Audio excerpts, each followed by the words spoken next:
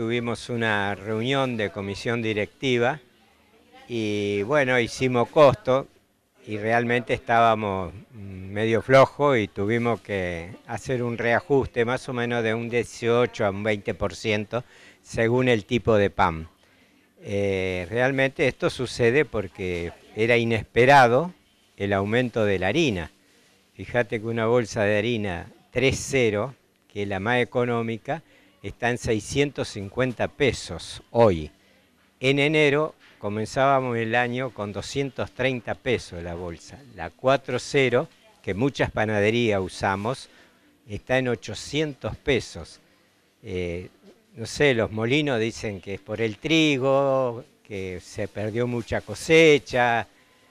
La cuestión es que las panaderías hoy están pagando 650 pesos, casi 30 dólares una bolsa de harina.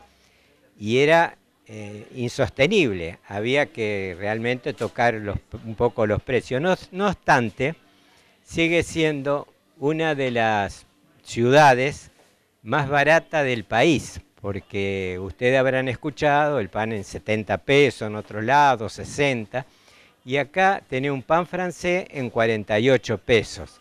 Hicimos todo lo posible para realmente que la gente no se vaya de la panadería, que siga consumiendo.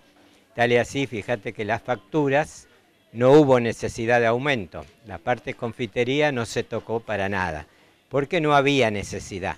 Pero el pan realmente había una necesidad de aumentar, ya te digo, por el costo de la harina.